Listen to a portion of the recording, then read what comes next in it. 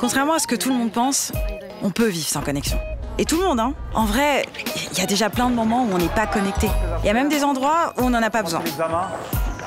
Et plein de moments aussi où on a mieux à faire.